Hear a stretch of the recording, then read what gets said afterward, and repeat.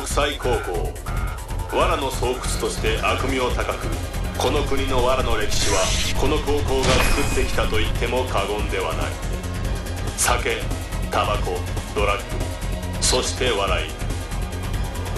暴走事件により検挙される生徒も増え続け万象をはじめとする不良グループの極小非道な振る舞いは日々エスカレートする一方であった。